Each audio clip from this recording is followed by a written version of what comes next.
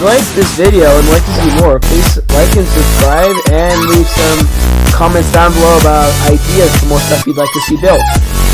And if you'd like to see some other cool stuff, please check out my channel. Total Ravenclaw out.